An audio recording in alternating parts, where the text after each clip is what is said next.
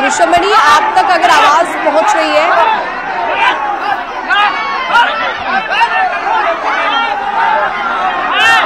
तो तस्वीरें आप देख सकते हैं और देखकर आप खुद अंदाज़ा लगा सकते हैं कि कैमरा भी यहाँ पर टिल्ट हो रहा है बार बार पुलिस हालाँकि मौके पर मौजूद है।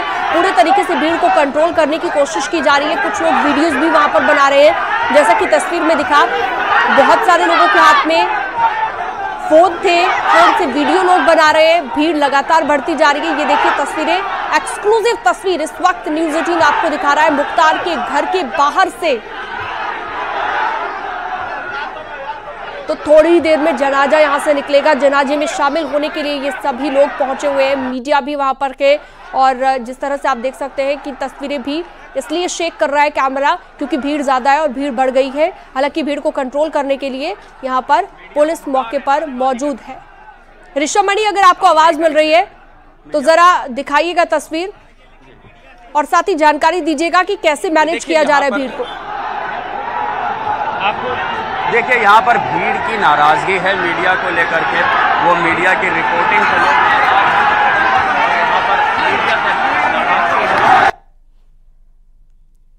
तो देखा आपने, मीडिया से दरअसल ये नाराज़गी जताई जा रही है। जैसा कि हमारे सहयोगी ने अभी जानकारी दी कि मीडिया इसे कवर ना करे। ये कहना है, इस भीड़ का, भीड़ में जो लोग मौजूद थे, इनकी नाराज़गी मीडिया कर्मियों के साथ कि मीडिया कवर ना करे। और मीडिया ना पहुँचे यहाँ पर कवर करने के लिए। हालाँकि आप देख सकते हैं कि कई ऑर्गेनाइजेशंस वहाँ पर मौजूद हैं।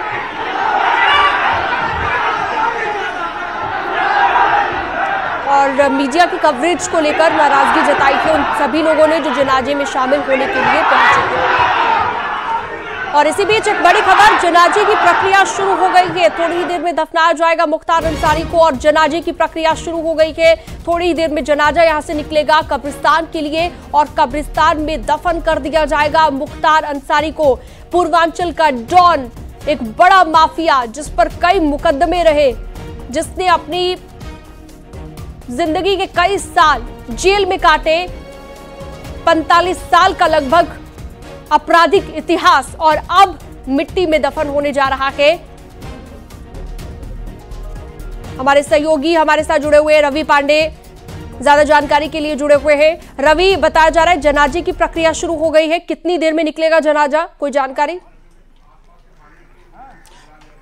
जी बिल्कुल, देखिए जो मुस्लिम धर्म में जिस प्रकार अंतिम संस्कार की जो प्रक्रिया होती है, वो शुरू हो चुकी है। लगभग एक से डेढ़ घंटा लगेगा उस पूरे प्रक्रिया को। इस प्रक्रिया के अंतर्गत जो शव है, उसे स्नान करवाया जाएगा। इसके साथ ही इत्र लगाया जाएगा इसके साथ ही जो नमाज़ पढ़ी जाएगी, जो मौके पर एक फातिया या फिर जो एक दुआ होती है, वो पढ़ी जाएगी और इसके बाद जनाजे को सजाने के बाद जनाजा उठा करके सीधे कब्रिस्तान आएगी। तो वो प्रक्रिया अब शुरू हो गई है और इस प्रक्रिया में लगभग डेढ़ घंटे का समय लगेगा, यानी कि लगभग दस बजेंगे और दस बजे जनाजा वहाँ से उठ करके सीधे इस कब्रिस्तान पर आएगा और जहाँ पर मुख्तार अंसारी को सुपुर्द खाक किया जाएगा। ये कब्रिस्तान पैतृक कब्रिस्तान है। यहाँ पर मुख्तार के जो पिताजी माताजी और बाकी जो उनके जो पूर्वज हैं वो यहाँ पर दफन पहले से ही किए किए गए हैं और इसी कब्रिस्तान में मुख्तार भी दफन होगा। यानी कि आज दस बजे एक जो एक माफिया का एक बड़ा जो एक चेहरा था वो मिट्टी में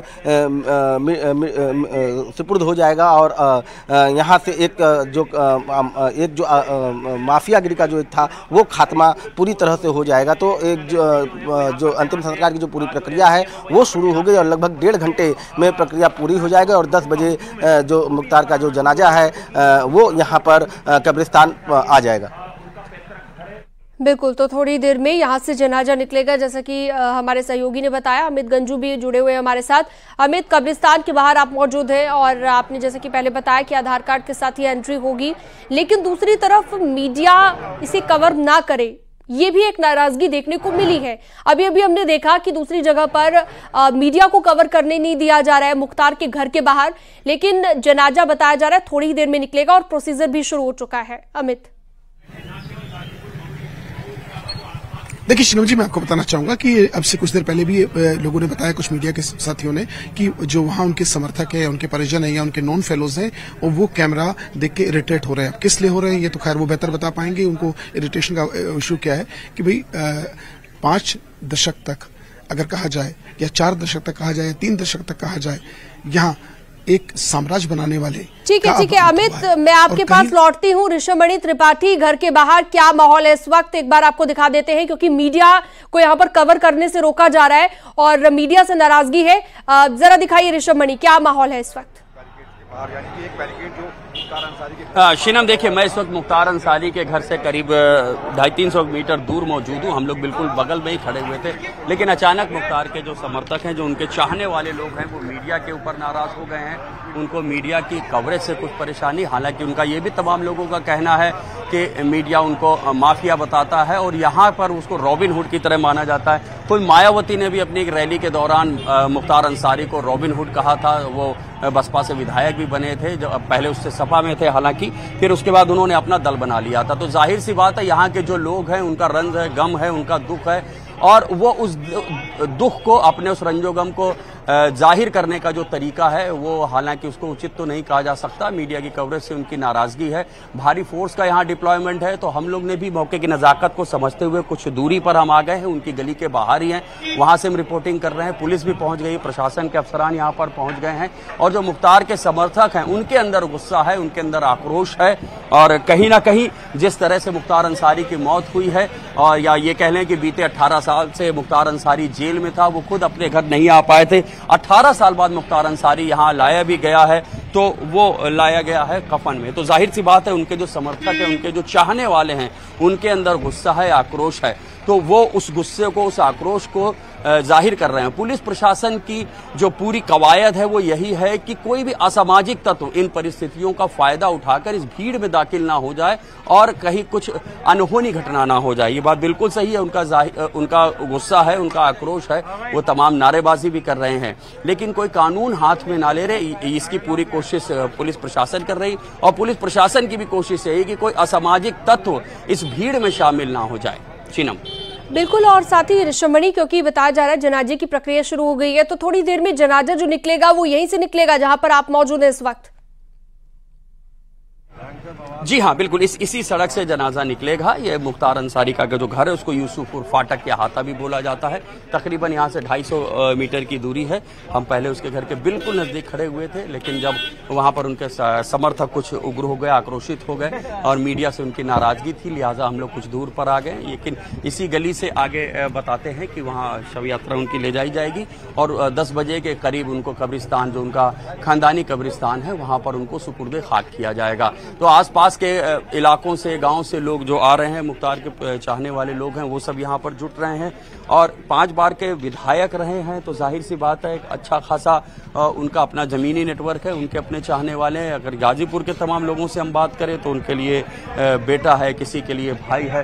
तो उनके जो तमाम चाहने वाले हैं, वो यहाँ पर इकट्ठे हो गए हैं। और ऐसे में भी कुछ तत्व ज़ाहिर सी बात है कि भीड़ में शामिल हो सकते हैं, वो माहौल खराब कर सकते हैं। तो पुलिस प्रशासन की पूरी कोशिश यही है कि कोई असामाजिक तत्व भीड़ में शामिल ना हो पाए और यहाँ के माहौल बिगाड़ने की कोशिश ना करे। भारी मात्रा में यहाँ पर पुलिस, पीएससी, पैरामिलिट्री फोर्स तैनात है। अपने तमाम जो एंटी राइट उपकरण हैं, उनको लेकर के यहाँ पर तैनात है। लेकिन हमने भी थोड़ी दूरी बना ली है, चूँकि वहाँ पर उनके जो समर्थक हैं, वो मीडिया की रिपोर्टिंग से नाराज़ नज़र आ रहे हैं। शिनम ठीक है ऋषभमणि आप बने रहिएगा हमारे साथ। अपने दर्शकों को एक जानकारी हम दे दें कि निकलने वाला है मुख्तार का जनाजा। कब्रिस्तान में दफनाने की तैयारी पूरी कर ली गई है। मुख्तार के घर के बाहर भारी भीड़ देखी जा रही है। उनके जो समर्थक है, वो लगातार पहुँच रहे थे और भीड़ बढ़ती जा रही है। और इससे पहले हमने देखा कि मीडिया के साथ नाराज़गी भी दिखाते हुए उनके समर्थक दिखाई दिए। निकलने वाला है मुख्तार का जनाजा। प्रक्रिया शुरू हो गई है और थोड़ी देर में ये जनाजा यहाँ से निकल जाएगा, जो कि कब्रिस्तान पहुंचेगा। हमारे सहयोगी अमित गंजू भी लगातार जुड़े हुए हैं। अमित, वहाँ पर कोई जानकारी हो कि कितने बजे तक कब्रिस्तान ये जनाजा पहुंचेगा और दूरी कितनी है कब्रिस्तान तक पहुँचने की, मुख्तार के घर से लेकर कब्रिस्तान तक की? अमित। देखिए शिनम जी, मैं आपको बताना चाहूँगा कि लगभग 10 बजे का टाइम दिया और ऐसा माना जा रहा है कि अपने तय समय पर ही यहाँ उनका जनाजा यहाँ आएगा। और उसके बाद सुपुर्द के खाको मैं अपने कैमरामैन से कहूँगा, देखिए, ठीक ये सामने पैसेज है। हम लोग ठीक यहाँ से दिखाना चाहूँगा। देखिए, यहाँ से जहाँ तक नज़र मेरी जा रही है और जहाँ तक मैं अपने स्टेप्स बैक कर रहा हूँ, ये पूरा यहाँ से सेवन मीटर्स की दूरी पर वो जगह है, जहाँ से जनाजा आना है और एक मैदान है जहाँ लोग नमाज़ भी अदा करेंगे, जो हमारे पास सूचना है नमाज़ अदा करेंगे। नौ बजे के आसपास नमाज़ अदा होगी और उसके बाद अ, उनको ये लेके यहाँ आया जाएगा। आठ से दस मिनट का ये पैसेज टोटल लगेगा जैसा बताया जा रहा है क्योंकि वो जो एरिया है जहाँ फाटक है या जहाँ उनका घर है या पुराना प- घर है वहाँ से होते हुए सीधे यहाँ आएँगे और ऐसे में यहाँ पुलिस के अधिकारी पूरी तरीके से डटे मैं अपने कैमरा कैमरामैन से कहूँगा आप ये देखिए पीएससी की पूरी कंपनी या पीएससी के जो जवान यहाँ मुस्तैद हैं और इसको पूरी इस दीवारी को पीएससी ने अप, अप, अपने उसमें लिया है और यहाँ से कोई भी व्यक्ति ना तो खड़ा हो पाएगा ना यहाँ से झांकना अलाउड है। सिर्फ़ देख सकता है और मीडिया के लिए एक सामने पैसेज बनाया गया है और क्योंकि जो अभी अब से कुछ देर पहले जैसे हम बताना चाहेंगे कि एसपी सिटी खुद निकले तो उनका कहना था कि आई कार्ड्स का मांगने का सिर्फ़ इतना उद्देश्य है कि कोई ऐसा व्यक्ति इसका अनड्यू एडवांटेज ना कोई फ़ायदा ना उठाए, कोई ऐसी भीड़ में ना घुस जाए, जिसकी आइडेंटिटी हम लोग न लिखे। इसलिए उनके आईडीज देखकर या आधार देखकर ही है अदरवाइज़ फैमिली मेंबर्स के लिए किसी प्रकार की नानी, और ये जगह बड़ी छोटी है, यहाँ इतने लोग आना ठीक नहीं है। जैसे अब से कुछ देर पहले समाजवादी पार्टी के नेता और पूर्व मंत्री अम्बिका चौधरी भी आए, उन्होंने कहा कि ये मुझे बड़ा दुखद है, और हम यहाँ कंसोल करने, अपनी कंट्रोलेंस करने आए और वो भी इस तरफ़ निकल गए और अगर मैं अपने कैमरे में से कहूँगा, देखिए धीरे धीरे करके जहाँ तक कैमरे की नज़र, कम से कम पैदल, क्योंकि बैरिकेटिंग लगी है ट्रैफ़िक के रूल्स का पालन हो, अननेसेसरी ऑब्स्ट्रैक्ट ना हो, उसके बाद व्हीकल्स वहाँ खड़े के एक लंबा जत्था देखा जा सकता है, क्योंकि ये, जैसा कि मैंने आपको बताया था कि नौ बजे के आसपास की एक नमाज़ को अदा करेंगे और उसके बाद ये लोग सब उसमें शामिल होंगे। मैं कैमरामैन से कहूँगा, थोड़ा पैन करके दिखाएँ, हो सकता है थोड़ा भी दूर दिख रहा हो। और ऐसे में पुलिस के अधिकारियों ने लोगों को बताने का प्रयास किया है कि नमाज़ अदा करने में किसी प्रकार का कोई ऑब्स्ट्रैक्ट नहीं है, जनाजे में शामिल होना कोई ऑब्स्ट्रैक्ट नहीं है, किसी प्रकार का कोई रोक टोक नहीं है, मगर रोक टोक सिर्फ़ उस चीज़ पर है कि अंदर जाने को लेकर कुछ गाइडलाइंस हैं, उनके फैमिली मेंबर्स हैं, और उनके फैमिली मेंबर्स ने भी कल जब अधिकारियों के साथ बैठक की तो उसमें अपनी सहमति बताई कि सब लोग अंदर जाना पॉसिबल नहीं, क्योंकि उनके, इनके बुज़ुर्गों की, इनके अपने फैमिली के जो इनके पूर्वज हैं उनके भी यहाँ कब्रें हैं। और ऐसे में ये चीज़ें ऐसी होती हैं इसमें जैसे पूछा किया जाएगा, ये इबादत करते हैं, उसके बाद या इन्हें दफनाया जाएगा तो उसके बाद वही लोग वहाँ रहते हैं, मिट्टी डालने में वही लोग रहते हैं जो उनके खून खानदान के हैं, या उनके अपने परिवार से जुड़े लोग हैं। और ऐसे में आई कार्ड वाली बात भी बार बार सामने आ रही है और मैं अपने कैमरामैन से कहूँगा, एक बार जरा प्लीज़ एक बार इसको उस व्यक्ति से हम लोग आपको दिखाना चाहेंगे जिसने यहाँ जो कब्र खोदी है और वो पूरी तरीके से अब तैयार बैठे हैं। देखिए, वो लोग अपने पूरी तरीके से तैयार बैठे उनको भी इंतज़ार है कि अब, क्योंकि इनको दस बजे का कहा गया था, ये वही शख्स है जो कुर्सी बैठा है, जिसने कब्र खोदी थी। सामने मेरे बैठा है। इनकी बैक साइड आप देख सकते हैं। उसके बाद यही वो शख्स है जिसने कब्र खोदी। और जब मिट्टी हाथ से डालेंगे, उसके बाद इसको पाटना इस पे पटरा रखना, इसको बराबर करना, इन्हीं लोगों का काम है। जी। ठीक है, अमित। सिक्योरिटी भी काफ़ी ज़्यादा टाइट है कब्रिस्तान के बाहर, जो कि हम देख पा रहे हैं। और हमारे साथ रवि पांडे भी जुड़े हुए हैं लगातार। रवि सिक्योरिटी के लिहाज से हम देखें तो काफ़ी बड़ा सुरक्षा का घेरा दिखाई दे रहा है यहाँ पर पुलिस का। लेकिन दूसरी तरफ़ कहा जा रहा है, जनाजे की प्रक्रिया शुरू हो चुकी है और थोड़ी ही देर में जनाजा वहाँ से निकलेगा। दूरी कितनी है कब्रिस्तान तक की? अगर हम बात करें तो जो मुख्तार का घर है, वहाँ से कब्रिस्तान तक पहुँचने में कितना वक्त लगेगा? जी बिल्कुल देखिए, जनाजे की जो प्रक्रिया है वो शुरू हो चुकी है और लगभग एक से डेढ़ घंटे में प्रक्रिया पूरी हो जाएगी और तय समय में जो 10 बजे सुपुर्द खा करने की जो समय है, उसी समय जनाजा उठ करके यहाँ कब्रिस्तान आएगा। हमारे साथ, हमारे सहयोगी मनीष है। मनीष, अभी आप अंदर से आए हुए हैं, वहाँ काफ़ी हंगामा भी हुआ है। अभी अंदर की जो जानकारी है, वो जानकारी क्या क्या है और कितनी दूरी लगभग कब्रिस्तान उनके घर से और कब्रिस्तान की है? हाँ देखिए, आपको बताएँगे बता दें कि अंदर मुख्तार अंसारी के प्रतीकावास का अंदर जो अंतिम संस्कार की जो प्रक्रियाएँ होती हैं, रवायतों के हिसाब से उन्हें पूरा किया जा रहा है सबको नहलाया जाता है। उसके बाद अन्य प्रक्रियाएँ जो होती हैं उसको की जाती हैं। उसके बाद एक मगरिब की नमाज़ होती है जो कि अंतिम समय में पढ़ी जाती है वो पढ़ी जाएगी वो नमाज़ अदा की जाएगी उसके बाद जनाजा वहाँ से निकलेगा। और एक किलोमीटर की दूरी है मुख्तार अंसारी के प्रति घर से लेकर इस कालीबाग कब्रिस्तान की तो एक किलोमीटर का, शव यात्रा या जनाजा यहाँ तक आएगा जिसके बाद उन्हें सुपुर्द खा किया जाएगा। तो बिल्कुल देखिए अंदर की जो पूरी प्रक्रिया है वो शुरू हो चुकी है और वो प्रक्रिया खत्म होते ही वहाँ से